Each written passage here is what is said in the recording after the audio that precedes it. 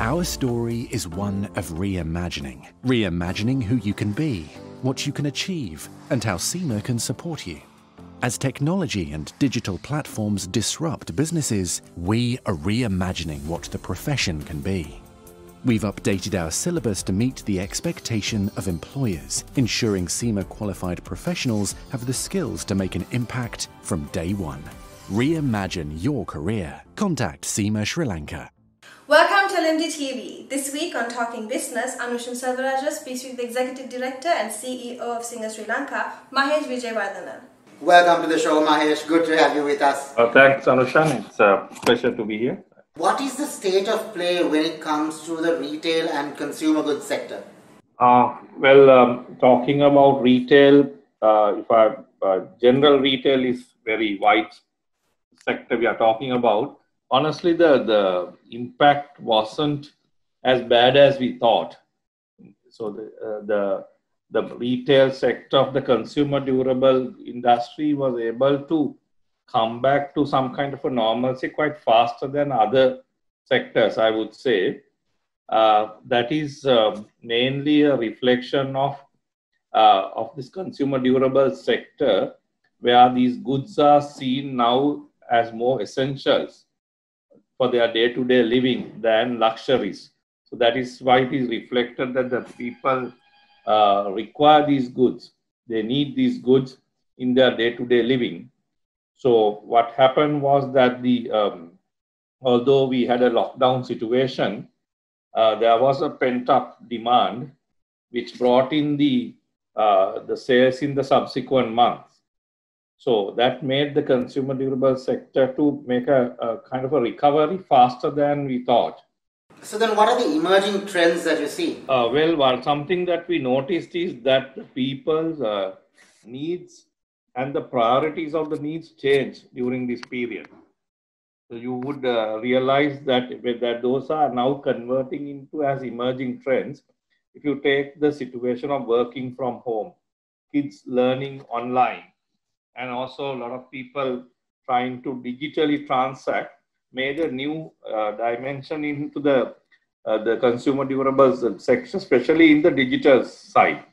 So increasing the demand for those items like mobile phones, tablets, computers, computers like essential now everywhere house where children are there, you need a laptop to for them to start their lessons. Then the the other trend we are looking at seeing is uh, when people are at home, uh, they started uh, uh, actually they were restricted of going out for various things like personal grooming, even for the rest, visiting restaurants, uh, eating out. So all those led some of the consumer durables like kitchen appliances to go up because the children started cooking, the mothers, fathers, all of them started trying out various recipes. So that actually brought in another uh, trend of uh, making meals at home uh, one other trend is people are seeking information now, listening to news. So uh, things like televisions also are uh, sources where they are watching more at home. So the TV is also uh, a trend where we see people are opting for bigger TVs than what they used to have. 24s are becoming 32 and 32 becoming 40, 43. So these are some of the trends. And one more thing is the online people getting used to buying online because they are restricted of going into retail outlets, traveling. So they started uh, trying out various, uh, I mean, say digitally transacting through e-commerce. So those are three or four new trends that we see, which will, I think, will um, end up as some kind of a uh, ongoing trends, not to full extent, but to some extent. Mahesh, with all these new uh, uh, ways of buying and selling, uh, what has been the impact on the top and bottom lines? Um, well, Anushan, the uh, I'm unable to uh, give you precise details of because the numbers are not yet released uh, to stock exchange. But overall, I would say Uh, there has been a decent first half, actually meeting or above prior year level of revenues your uh, month of April was basically nothing because it was a total lockdown situation. So we lose a big month, like April is a seasonal month. So you lose that. But from May onwards, middle of May onwards, showrooms started opening. So the retailers came into the scene. So since then till about end of September, things were okay until this recent situation. Uh, so the retail segment, uh, I think, performed well in the first half, and some of the uh, interim action that companies took in order to uh, improve their efficiencies, uh, cut their wastage, improve their cost efficiency, especially. Uh, so that has actually given them a, a, a much better bottom line improvement situation. What is your take on the import ban then? Import restrictions actually came in as a short term measure by the government to uh, support the reserves position and to reduce the dollar outflow. Uh, obviously, as business people, we don't like to see anything restricted in terms of what we sell. Now, uh, since it's a national need, of course, we couldn't do much. But the only thing is, um, uh, as far as the consumer durable sector is concerned, uh, our import restrictions were there for about three months. And with our lobbying and uh, able to convince the government that these, these goods are needed for day to day living, uh, we were able to lift some most of these import restrictions uh, by providing supplier credit so that there is no immediate um, uh, impact or immediate pressure on the dollar outflow. So we were able to get 90 to 180 days of credit. In the long run, if the government's um, uh, thinking is to promote more locally produced goods, so then it has cannot be just done through immediate restrictions because companies need time for preparation. So that means at least one to one and a half years of time needed to set up these investments. So uh, what I would say is that restrictions should not be a, a measure for that. It should uh, the life has to the the business has to go on until we get more ready with a, a proper import uh, local uh, manufacturing setup. We're going for a short break now. We'll be right back after this.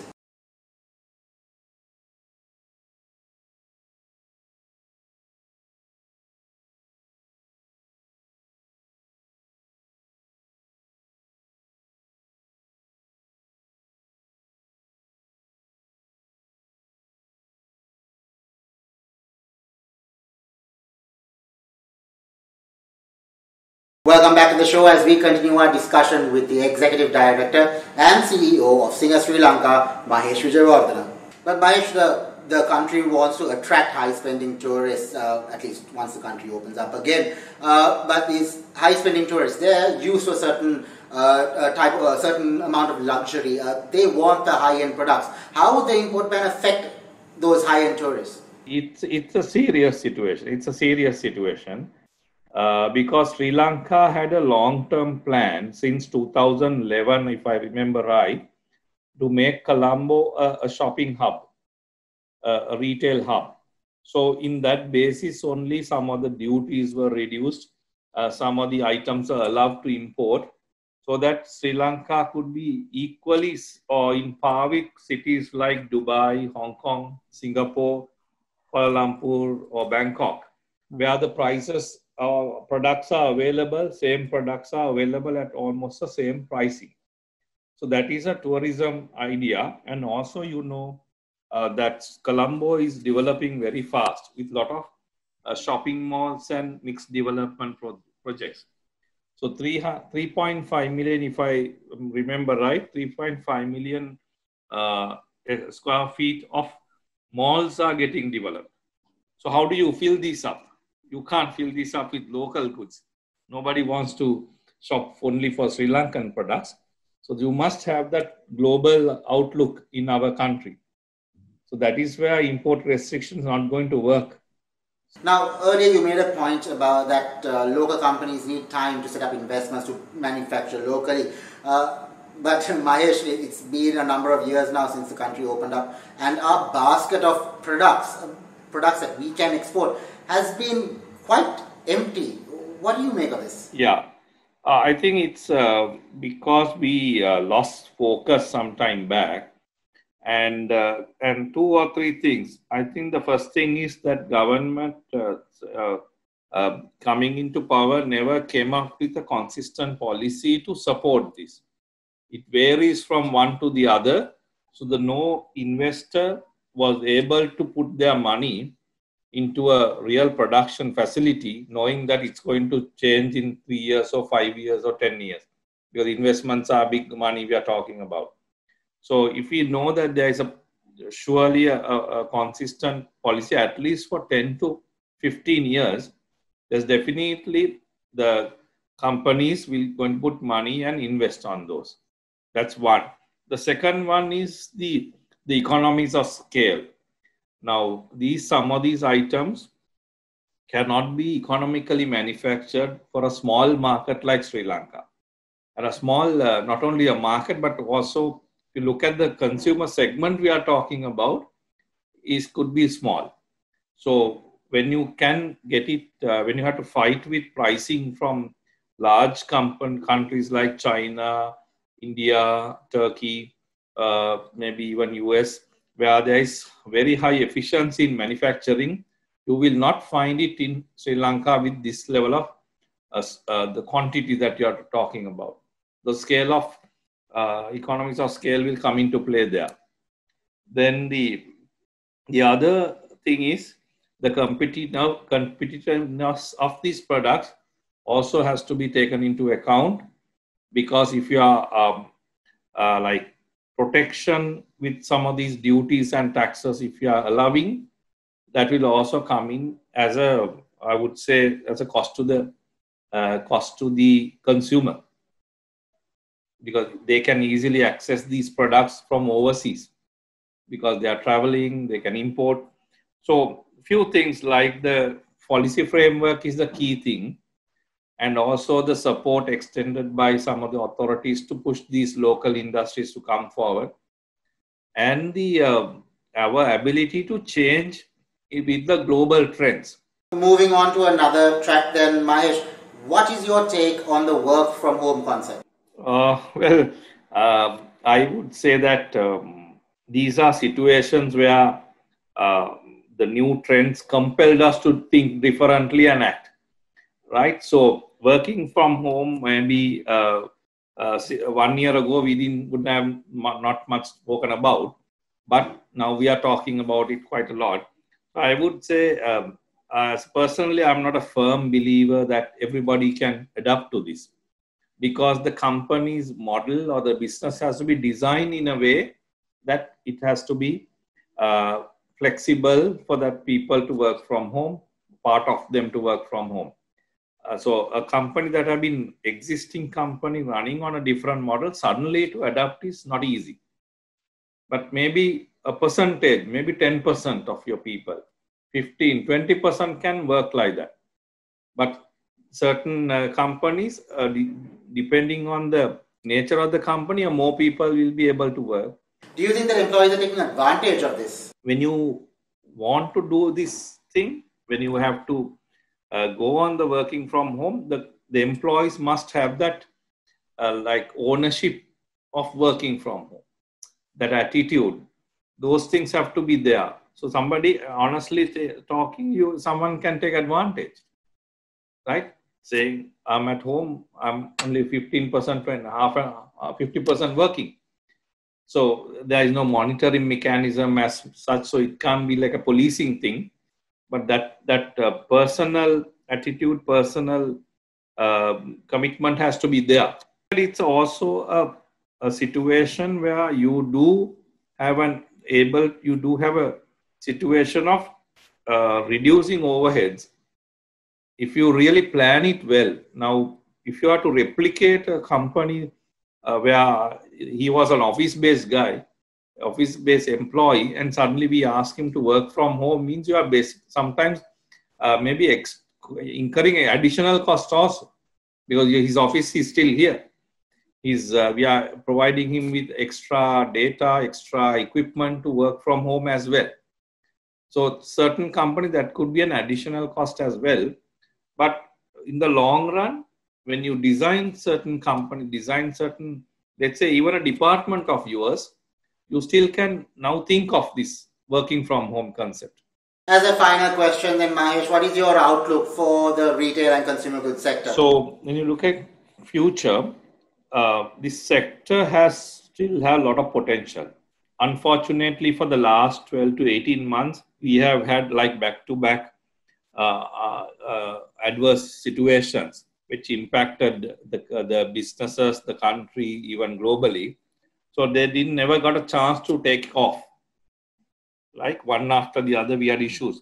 But what happens is if you take, if I take, uh, talk of our sector, our sector is a facilitator for people to improve their living standards. Right? So what happens? Every day people will aspire to live better right? So the person who used firewood for cooking will uh, wanted to use a gas cooker next. Person who used a, um, normal pot for cooking rice will need a rice cooker. Person you, you didn't use a refrigerator will need a refrigerator. So these products, the need for these products will continue to remain.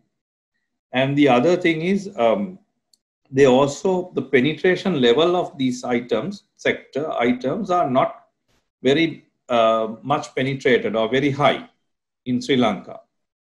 Certain, uh, for example, televisions are penetrated into about 90s, uh, 90% plus, but refrigerators is about 60%, washing machines are 30%, air conditioners only less than 5%, uh, kitchen appliances maybe 20, 30, 40%. So uh, penetration levels are not very high and also the, the it has come to some of them are into replacement level.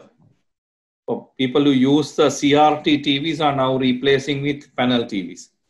People who use 32 inch TVs are now, after five, six years, are now moving to 45 inch, 40, 40 inch TVs. So there is faster replacement. These products are now replaced much faster than before, as you know. These equipment upgrades are happening, and uh, and also the needs continue to evolve. There are new needs are evolving, which some people may not thought of having before. Now people will want uh, equipment to support them because of the busy work life. Now the husband and wife both working most places. Kids are busy. So there are new needs coming in. So therefore, I would say going forward, the outlook for sector in the short term as well as in the long term is very good. Well, that was quite interesting. Thank you very much, Mahesh, for joining us on the show. It was a great pleasure. Okay, thank you, Anushan. Thanks for the opportunity given. After a short break, Ashwini Vethakan will take you through a roundup of local news. Stay tuned.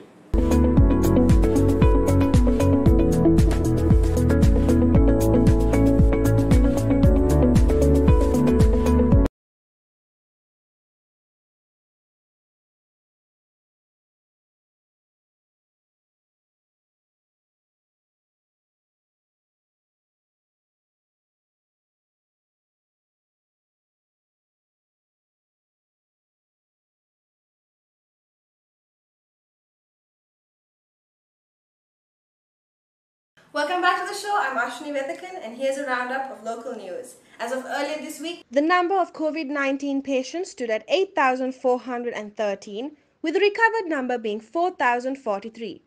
On Saturday, a recorded 8,066 PCR tests were carried out across the country, while on Sunday, 57,221 individuals had left for their homes having completed the mandatory period at quarantine centers. Earlier this week, the country witnessed a spike in its COVID 19 death rate, with the number of fatalities reaching 19.